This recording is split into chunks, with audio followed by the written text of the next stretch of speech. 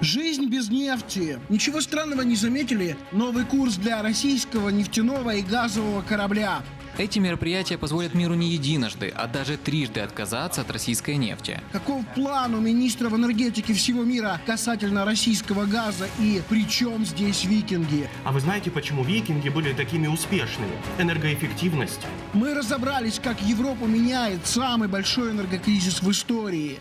Как только началась война, я прикрутила. И какие новейшие энергоэффективные технологии вскоре стоит ожидать в Украине. Дания тут роют котлован под фундамент 14-этажного дома. Обычная картинка, если не присматриваться.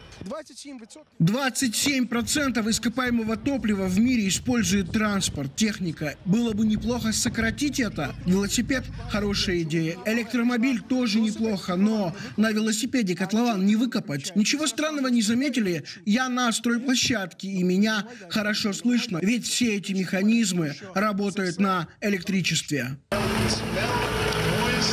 После начала полномасштабной войны России в Украине тут, в Дании, как и по всему миру, значительно подорожало топливо.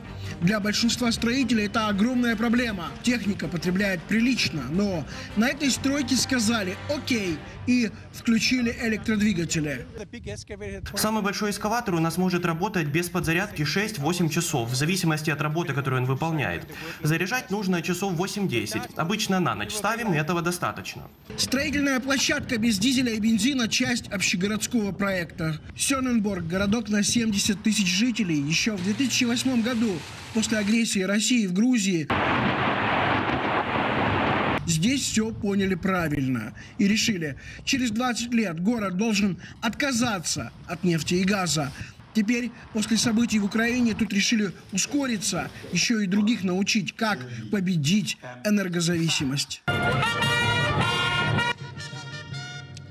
25... 25 министров энергетики и кронпринц собираются тут, в местном замке, обсудить, как миру потреблять меньше газа и нефти.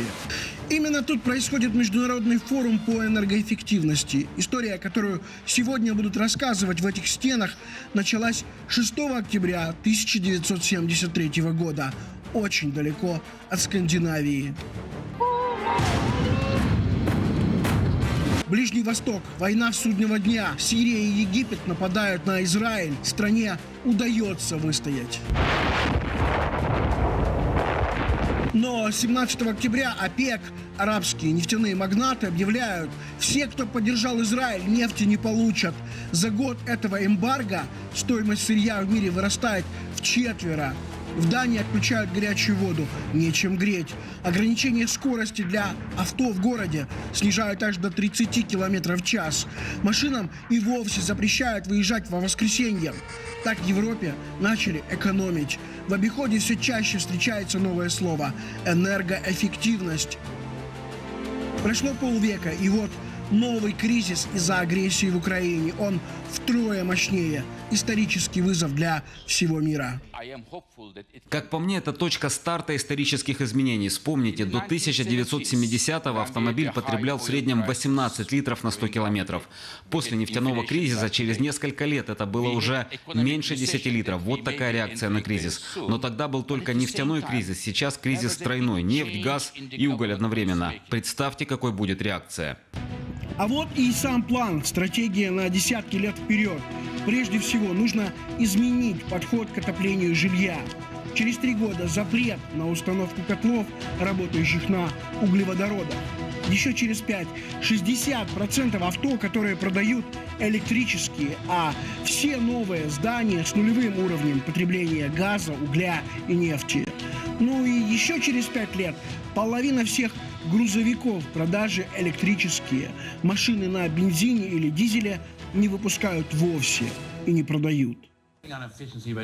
Эти мероприятия позволят миру не единожды, а даже трижды отказаться от российской нефти. Когда я говорю об этом, я имею в виду, что мы можем сократить потребление нефти в мире в объеме трех годовых добыч России, которые были по результатам 2021 года. Вслед за нефтяным танкером по уже известному курсу такая политика отправит и российский газовый корабль. Экономия голубого топлива в мире будет как четыре годовых объема российской добычи. Это перспектива, но как перестать платить агрессору уже завтра или хотя бы в ближайшем отопительном сезоне?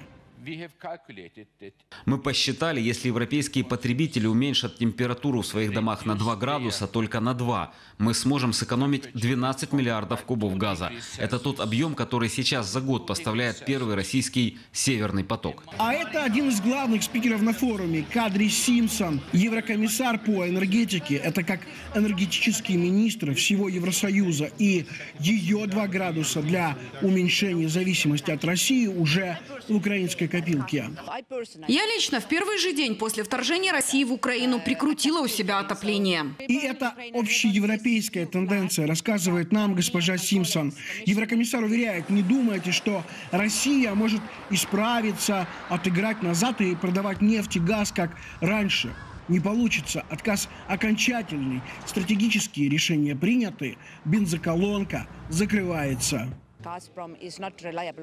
Россия проявила себя как ненадежный поставщик, и у нас есть план, где каждая страна будет страховать друг друга в критических ситуациях. Цена газа в мире снова бьет рекорды, вернулась на уровень выше тысячи долларов за тысячу кубометров, но у Европы хранилище уже наполовину заполнено, поэтому от дефицита газа есть страховка.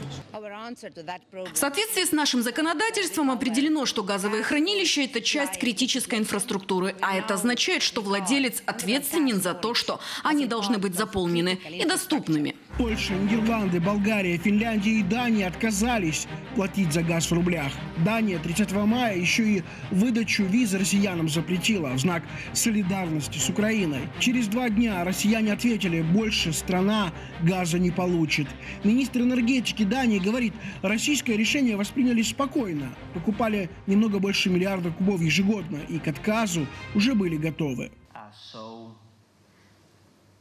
Поверьте, больше разволновался, когда увидел, что происходит в Украине. И это действительно важно. Идея, которую сегодня пытается донести Дания, заменить российскую нефть иранской или венесуэльской, это не решение проблемы. Только полный отказ от зависимости, энергоэффективность – вот настоящий выход.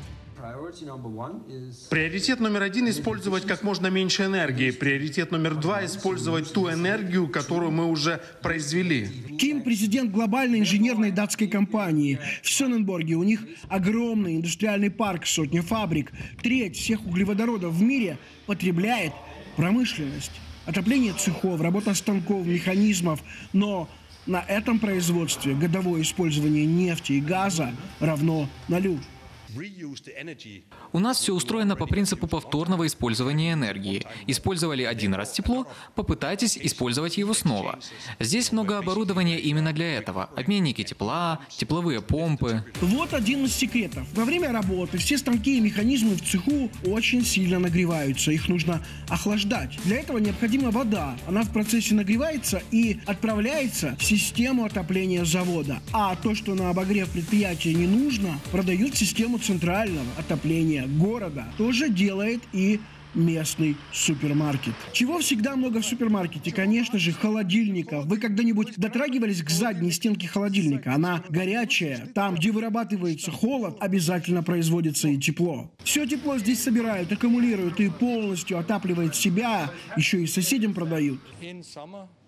Летом, когда нам тепло не нужно, а холодильники работают на максимум, передаем тепло в центральную систему на производство горячей воды. Датчане энергосбережения поставили в приоритет еще 50 лет назад, и сейчас для них не проблема отказаться от российских энергоносителей. Не видят трагедии в этом и поляки. К счастью, мы подготовились. Построили LNG-терминал.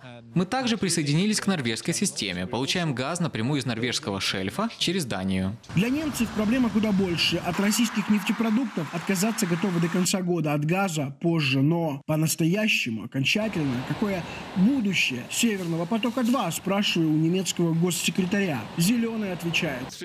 Северный поток-2, если и будет функционировать, то он будет поставлять зеленый биогаз. У нас нет намерений больше покупать обычный газ. Самые большие овации на форуме после выступления украинского министра энергетики. Он подробно объясняет, куда и как Россия тратит полученные за нефть, газ, деньги. Агрессивная война России разрушила много наших городов. Их нужно восстанавливать. Нам будут нужны сверхусилия и инвестиции. И одновременно это огромная возможность. Факт, в котором представители Германии, Дании, Польши и Еврокомиссар просили меня не сомневаться. Европа будет участвовать в восстановлении Украины и однозначно поможет построить современную энергетическую отрасль. Не восстановить советскую, а создать европейскую. Мир после войны будет другим, и в сфере энергетики наверняка изменения, которые сегодня происходят, исторические и необратимые. Европа к этому не просто готова, она уже это делает и очень хочет с этим помочь Украине в наших восстановленных городах.